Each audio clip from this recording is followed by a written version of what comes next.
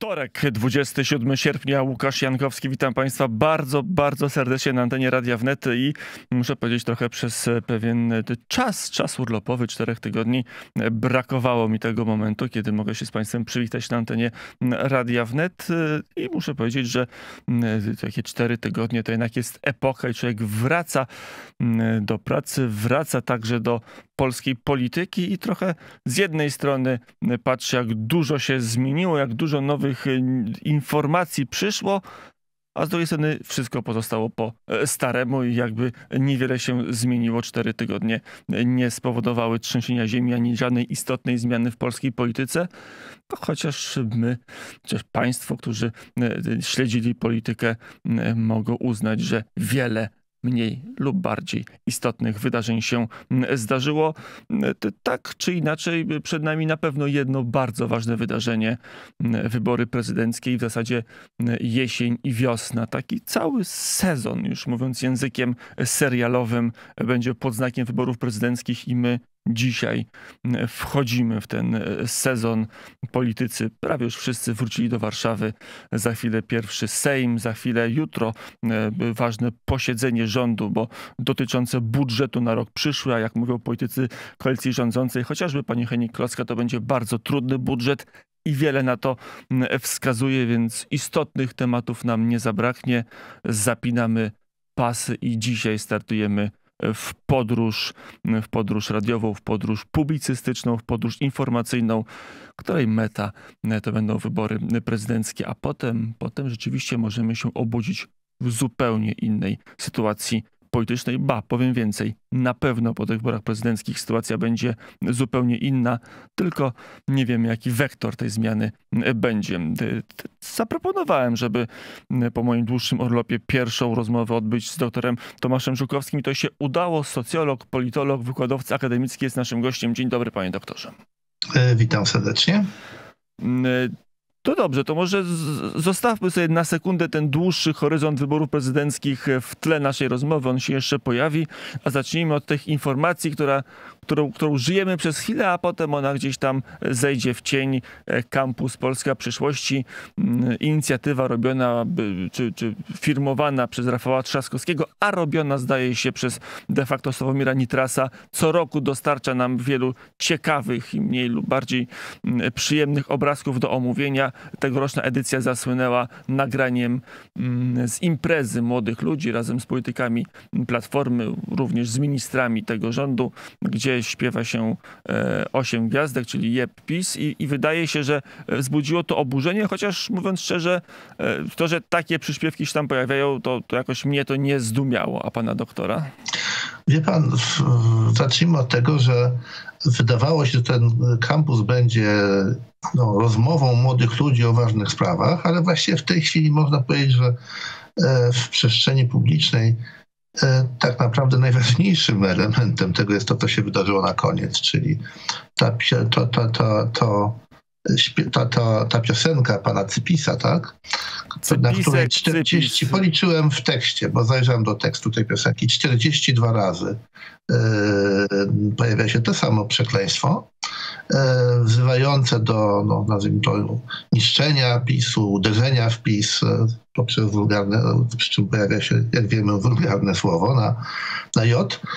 E, ale tam też jeszcze, co ciekawe, pojawiają się dwa inne słowa, znaczy tak naprawdę piosenka kończy się żądaniem, żeby osoby związane z pisem po prostu oddaliły się z kraju, to tłumacząc na język polski e, literacki, a w tekście jest jeszcze mowa o tym, że to już jest koniec, że to jest wojna, e, łapy precz, wyjdźmy wszyscy na ulicę. Więc jest to, można by taki powiedzieć, tym hymn nienawiści, E, który pojawił się, przypomnijmy, kilka lat temu, jeszcze kiedy ta formacja była w opozycji, który podobno, powtarzam, na odpowiedzialność dziennikarki, która była kilka lat temu na kampusie, pojawił się i wcześniej. A tym tak jest, to taki... Joanna Miziołek z, z prostu też jakby nie była e, zdziwiona, bo mówiła, takie same obrazki były dwa, e, trzy lata temu na kampusie Polska I, I po pierwsze, no, to jest samo w sobie, no, powiedziałbym, nieprzyjemne, jeśli no, to świadczy fatalnie o przyszłych polskich elitach No bo co śpiewały polskie elity, 20, przyszłe polskie elity 20, 40, kilkadziesiąt lat temu? No przypomnę Grzegorza Ciechowskiego, Pytanie o Polskę. Porównajmy tę piosenkę z tą, z tym stekiem bluzgów, żebyśmy wiedzieli, jaka jest różnica między poziomem etycznym, moralnym, e, obywatelskim tych młodych ludzi, którzy to śpiewają. Ja ich nie będę bronił, tak jak to dużo osób robi. E, no i to jest pierwsza bardzo ważna informacja, bardzo zła dla Polski po prostu, bo takie będziemy mieli w przyszłości elity, które odreagowują się poprzez nienawiść. E, ale druga, znacznie bardziej niepokojąca informacja to jest reakcja polityków na to, organizatorów. Co oni powiedzieli? One były, a były różne. Z jednej strony e, dość zabawnie, bo chyba mijając się z prawdą dość wyraźnie i spektakularnie, ale chyba nikogo to już dzisiaj w Polsce nie myli, e, pan Nita stwierdził, że uciszał młodzież, jak to usłyszał. Nagrania pokazują coś dokładnie odwrotnego, opublikowane, e, a chyba Rafał Trzaskowski przepraszał za ten incydent, no ale ktoś uznał, że nie ma sensu w tą stronę iść. Donald Tusk inną narrację pokazał na Twitterze, pisząc, że śpiewać każdy może lepiej albo gorzej, ale czasami musi, bo się udusi. Co ciekawe, ten oryginalny tekst jeszcze dzieliły dwa wersy, e, ale nie o to chodzi, jak co komu wychodzi, ale chyba te wersy niespecjalnie pasują do aktualnego stanu rządów. Znaczy, moim zdaniem one pasują, bo one pokazują, e, no, tak naprawdę to jest straszliwy cios w organizatorów kampusu, to co się stało, ponieważ tak naprawdę one jakby całkowicie no, podważają i niszczą E, całe przesłanie, te oficjalne przesłanie kampusu, ale zarazem pokazują, że to nieoficjalne przesłanie, które zostało przez tych młodych ludzi wyśpiewane, e, zostało no, tak naprawdę uznane przez organizatorów i przez e, samego premiera, bo jeżeli premier mówi, że no tak naprawdę, bo się udusi, czy innymi słowy, oni przecież musieli to powiedzieć, bo to gdzieś głęboko w nich tkwiło, czy on mówi innymi słowy tak, oni mają tę nienawiść sobie i niech ją ujawniają. I coś podobnego, mówiąc e, o tym, że w duszy to grało tym e, młodym ludziom, powiedział również główny organizator tej imprezy. I to jest dla mnie najbardziej zmartwiące, że zamiast się od tego zdystansować, zamiast e, jakby posypać głowy popiołem, no to może przesadzam, tego od polityków rządzącej formacji trudno oczekiwać. E, oni mają w tej chwili są w tej fazie pierwszej, fazie dumy i pychy, ale to dopiero za parę lat, gdyby tak było, to można by się tego spodziewać. Ale tym niemniej ich reakcja jest bardzo niepokojąca, bo przecież to jest czysta mowa nienawiści co nie ulega najmniejszej o, o, o, nie, tu pan doktor się myli. Mową nienawiści zajmuje się Krzysztof Śmiszek z Lewicy i jego zdaniem pan doktor jest w głębokim błędzie, bo on jako polityk, który będzie forsował, wprowadzał, kształtował ustawę o mowie nienawiści, określił tę piosenkę jako dorobek kulturowy. No więc Dzisiaj rano jest... w telewizji Polsat News. No, ja wiem, to czytałem. No to chcę powiedzieć, że ktoś uważa to za dorobek kulturowy, to ja współczuję mu, że w ramach takiej kultury się obraca. E, i że to uważa za dorobek kulturowy środowisk, w których bywa. No bo jak inaczej to sobie wytłumaczyć? To jest, no muszę powiedzieć, że to jest przerażająca kompromitacja obecnych elit, które nie potrafią odciąć się od tego, co nie jest takie łatwe, trudne do odcięcia. No, e, nawet ktoś tam z tych, znaczy pan Halicki coś takiego próbował robić nieśmiało. Inny polityk powiedział, że, że, że chyba nawet jest wymieniony, że, że to było w okresie opozycji, że to były... E, ale jeżeli partia rządząca coś takiego ogłasza, ogłasza i... Naprawdę bardzo niepokojące. Niepokojące, ale może pan doktor robi z igły widły od, od wulgarna przyśpiewka, która się pojawia, e, przejdzie i, i minie i tyle. Nie, przepraszam. Ona istnieje już od kilku lat, funkcjonuje w ramach tego środowiska, się dowiadują również. Sami nasi najwybitniejsi politycy rządzący twierdzą, że ona oddaje stan duszy e, młodych ludzi, czy innymi słowy oni mówią tak, jesteśmy pełni nienawiści i będziemy i mamy prawo to nienawiść wyrażać. Jeżeli ludzie rządzącym coś takiego deklarują, to nie dziwmy się, że potem mają na przykład różnego typu zamysły, prawda, że na przykład również no, Inaczej spytam. No przecież tak naprawdę nie byłoby tej niechęci, nienawiści. Moim zdaniem zresztą jest im mniej w tych młodych ludziach. Może dla wielu młodych ludzi to była tylko no, no, draka heca, używając języka z, z młodości sprzed kilkudziesięciu lat. Ale mam wrażenie, że dla niektórych polityków jest to tak naprawdę świadome kształtowanie pewnych postaw, to jest e, szczucie do nienawiści, to jest dealowanie nienawiści. I to robią zawodowi politycy, żeby w ten sposób przykryć swoje własne czy przyszłe i aktualne problemy. I to jest naprawdę bardzo niepokojące. Ja bym nie chciał w tym momencie używać różnego typu metafor i odniesień, może metafor odniesień do innych epok historycznych. Mam nadzieję, że jest na to za wcześnie i że do tego nie dojdzie, ale to naprawdę jest dzwonek alarmowy, że nie ma żadnej reakcji, za wyjątkiem de facto no, zaakceptowania tego, co się stało. Panie doktorze, naszym gościem dr Tomasz Żukowski, socjolog, wykładowca akademicki, ale także osoba, która mm, no, współpracowała swego czasu z politykami. Ja to często przypominam, nie wiem czy słusznie, ale to też jednak pokazuje mm, zaangażowanie pana doktora, osoba, która współtworzyła expose premiera mm, Jerzego Buzka. Tak kiedyś. Na przykład. Na przykład. Nie tylko. Parę innych rzeczy też robiłem, ale też tak się składa, że ja w roli tak eksperta miałem też okazję kontaktować się z z tymi politykami, o których teraz mówimy. To tym bardziej mnie martwi. Oni kiedyś tak się nie zachowywali. Proszę powiedzieć, a a jaki to będzie miało wpływ na kampanię prezydencką? Wczoraj pierwsza strona Gazety Wyborczej opisywała mm, proces szukania nowego otwarcia przez koalicję rządzącą 20, 15 października, przepraszam bardzo, czyli w rocznicę wyborów ma być jakieś duże wydarzenie, na którym liderzy wszystkich partii koalicyjnych mają się pojawić i przedstawić e, wizję na przyszłość. Mi cały czas gdzieś tam w pamięci dzwonią słowa z kampanii wyborczej jeszcze Donalda Tuska, który mówił, że no, potrzebuje miesiąca, trzech miesięcy, czterech miesięcy na posprzątanie, a potem odda stery rządów e, komuś o łagodniejszym charakterze, tak mówił w kampanii wyborczej Donald Tusk. E, mija dziewiąty miesiąc, Donald Tusk jest premierem i nie ma e, mowy, żeby ktoś go zastępował, ktoś o łagodniejszym usposobieniu, ale może jest tak, że ta nienawiść po roku się będzie wypalać, że ona jest oczywiście bardzo gorąca wśród wybranych, wyselekcjonowanych młodych ludzi na e, kampusie Rafała Trzaskowskiego, ale w ogóle społeczeństwa ta, ta nienawiść już bokiem wychodzi i, i koalicja musi szukać jakichś innych wektorów politycznych. Wie pan, no ja powiedziałbym, ja powtórzę raz jeszcze, znaczy ta nienawiść jest może nie tyle bardzo obecna, ile ona jest podgrzewana e, wśród zyskach elitarnych. Myślę, że wśród zwykłych ludzi ona raczej będzie stopniowo wygasać. E, chociaż ją się próbuje podgrzewać różnego typu zarzutami, no ten sławna wypowiedź e, premiera o 100 miliardach, prawda, która ma, że tak powiem, ustawić całą debatę e, pod, prawda, na tej zasadzie, że to my jesteśmy od, e, od, od problemów naszego kraju, a oni to są, prawda, od tego, żeby, no, druga strona to jest samo zło, można by tak powiedzieć, prawda? Znaczy, to już Ale... było w kampanii rzeczywiście taki tak. bardzo tak. man, manichejski podział między dobrem a złem. Coś, z czym Donald Tusk wrócił do polityki jeszcze na dobrych no, dwa lata prawie przed wyborami, więc to już są trzy lata lata, kiedy e, ten sposób rozumienia polityki przez Donalda Tuska jest uprawiany.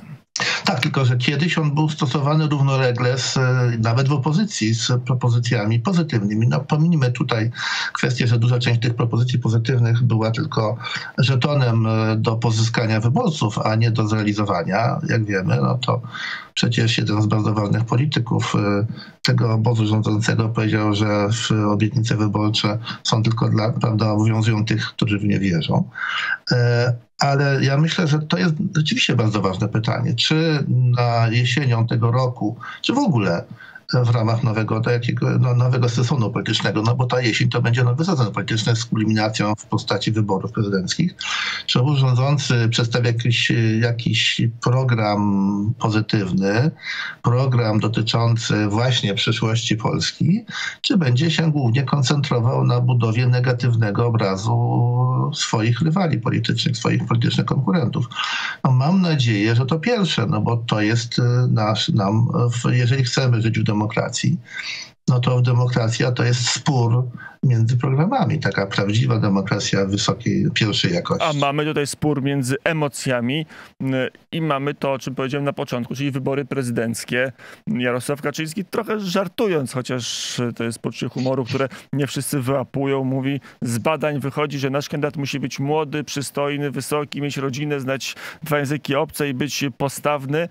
E, no ale może są jakieś takie kryteria, które wychodzą z badań sondażowych, a co wychodzi, co może wychodzić z badań Platformie i czy, czy, czy rzeczywiście jest tak, że ta polityka taka zbudowana i położona na, na nienawiści może wystarczyć do tego, żeby wygrać wybory prezydenckie? E, wie pan, no, zobaczymy. No, zachowań, które widzimy, również z reakcji polityków, tych najważniejszych na ten na ten incydent, ale bardzo poważny incydent, o którym już mówiliśmy, wskazywały na to, że oni jednak liczą na to, że ważnym instrumentem w ich, tak powiem, e, w ich, ich skrzynce, prawda, e, politycznego machera, będzie takim instrumentem, będzie też budowanie nienawiści.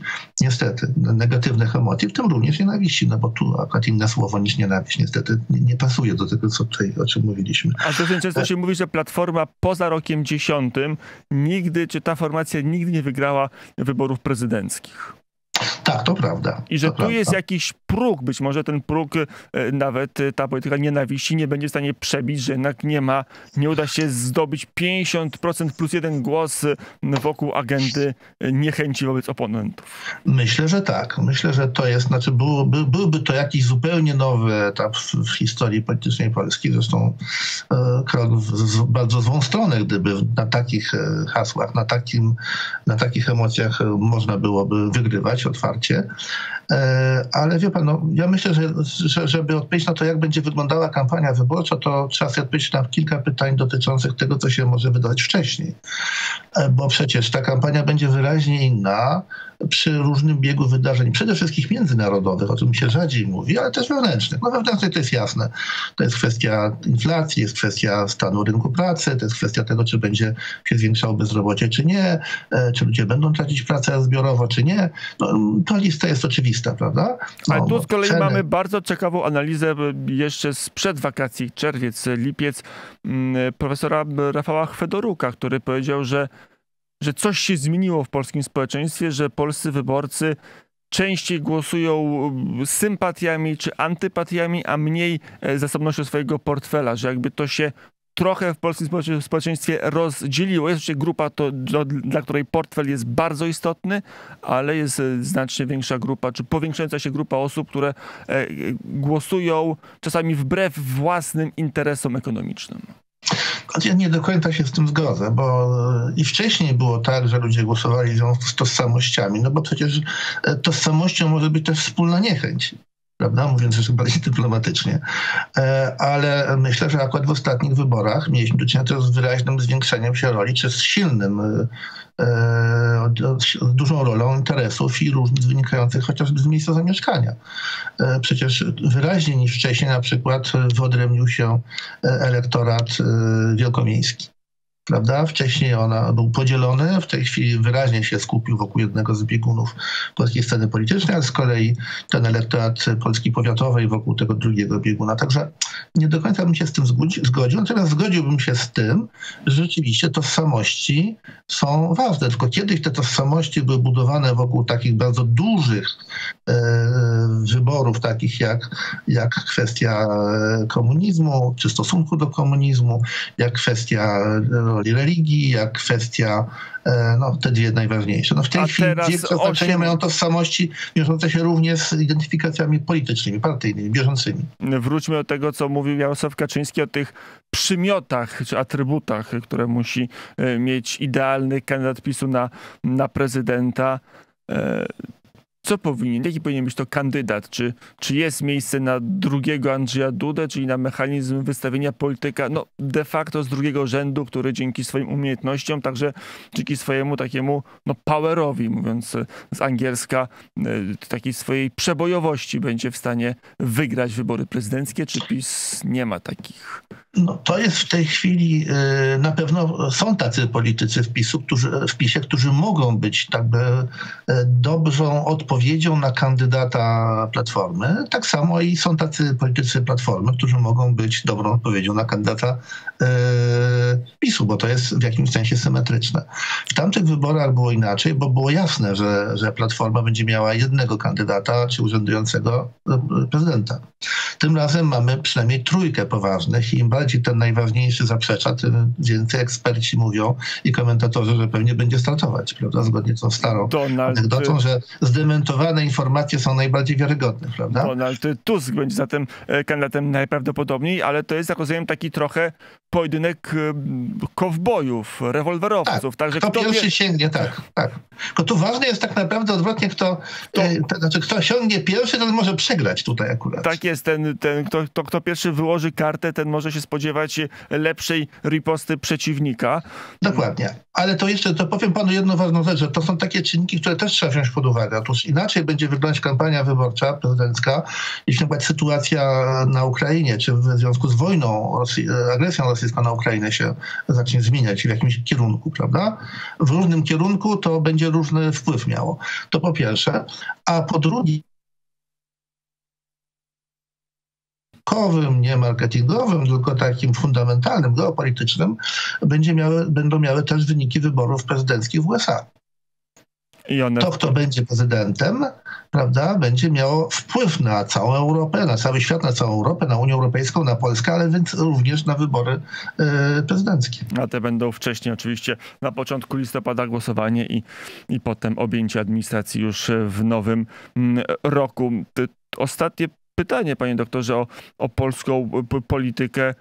Czeka nas 29 sierpnia, czyli w czwartek, mówiąc bardziej przystępnym językiem, decyzja PKW ona dwa razy była już odwlekana, więc ja też nie dam sobie ręki uczyć, że na pewno PKW podejmie decyzję e, co do finansowania PiSu już w czwartek. Może będzie kolejne odroczenie, aczkolwiek zapisane jest, że e, ta decyzja na analizę ma trwać około pół roku. Pół roku minęło 12 tygodni temu, więc trochę PKW już przeciąga ten limit, aczkolwiek to jest tylko taki, e, no nie jest to twardy zapis ustawowy, jest to pewne wskazanie, ile powinno trwać jeżeli PKW odbierze istotną część subwencji, czy najpierw refundacja, a potem subwencji e, PiSowi, to, to będziemy mieli koniec tej partii i, i początek dużych zmian na polskiej prawicy? E, nie sądzę, ale to na pewno będzie miało wpływ na dalszy bieg wydarzeń.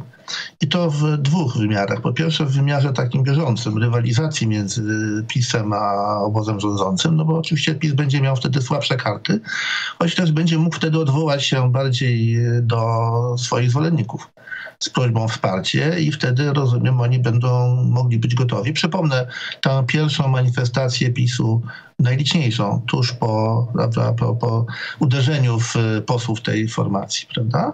Czyli to jest jakby po pierwsze.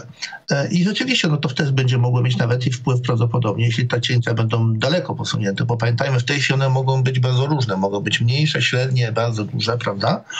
E, to może mieć też wpływ na, na decyzję dotyczącą e, kandydata, no bo kandydat taki zupełnie nowy może, no jest, wymaga, prawda, wydania większej ilości środków na jego wypromowanie.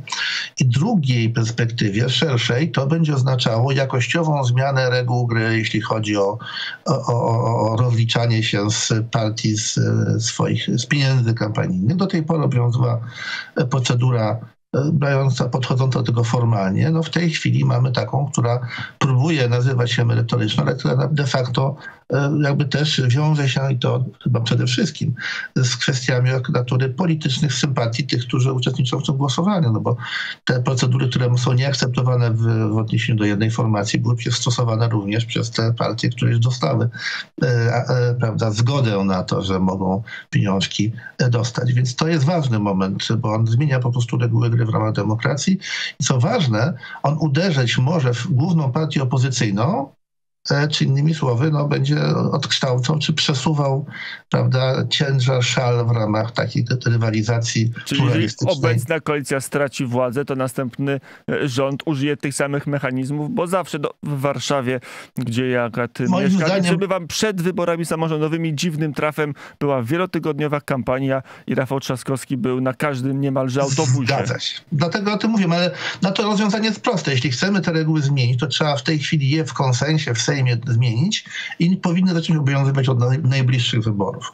Wtedy rzeczywiście to można zrobić. Jeżeli to będzie zrobione tak jak teraz, to to będzie no, budziło bardzo, no, to będzie oznaczało, że po prostu e, mechanizm demokracji zostanie tak zredefiniowany, żeby wygrywają, żeby rządzący mieli łatwiej, a opozycja trudniej. Bo każda partia, która straci władzę, będzie jednocześnie tracić e, subwencję wówczas. Doktor Tomasz Żukowski był naszym gościem. Dziękuję bardzo panie doktorze Dziękuję. za rozmowę. A my oczywiście nie kończymy kuriera w samo południe. Zaraz część druga. Zajmiemy się trochę o tym, czy, czy, czym już pan doktor powiedział, czyli o relacji między obecną koalicją rządzącą a Kościołem. Wydaje się, że tutaj jest pewien pomysł na ugranie e, co, co nieco kapitału politycznego. Ale zanim następna rozmowa, to ja jedną z kilku moich e, moich wrażeń i wniosków po wakacyjnych, po urlopowych muszę przedstawić. Jeździłem w, po Polsce w terenach, gdzie niestety ciągle jeszcze nie można złapać w samochodzie radia wnet i, byłem, i uderzyła mnie jakość muzyki, która jest tam prezentowana. Nieraz musiałem jechać samochodem i, i ciągle zmieniać stację radiową, żeby udało się trafić na jakiś znośny przynajmniej kawałek muzyki, mówiąc kolokwialnie, czyli utwór muzyczny, mówiąc poprawną e, polszczyzną. I muszę powiedzieć, że to jest jednak niesamowity dar wolności w Radio Wnet, że nie ma żadnego algorytmu, e, nie ma żadnej playlisty z góry ustawionej, gdzie są piosenki chyba coraz częściej tworzone od A do Z przez sztuczną inteligencję, bo, bo ich poziom i ich po prostu e, nierozpoznawalność jest, jest uderzająca. Wszystkie jakby od jednego odlewane od jednej e, formy, a, a w Radio Wnet e, także dzięki patronom jest wolność, żeby grać muzykę dobrą. I to też nas odróżnia od innych radiostacji, jak się przekonałem przez ostatnie cztery tygodnie. Oczywiście dla każdego e, dobra muzyka jest inna, ale ja kiedyś za dobrą muzykę i chyba dalej takie złożyłem zespół Komety, to zespół stołeczny, który E, często grywał to na juwenaliach, a to na innych tego typu mm, imprezach. Mm, a jedną piosenkę poświęcił takiemu specyficznemu czasowi w życiu młodzieży, czy to licealnej, czy to nawet studenckiej, jakim jest końcówka e, sierpnia, kiedy wszyscy wracali do, do miasta i się spotykali po wakacjach.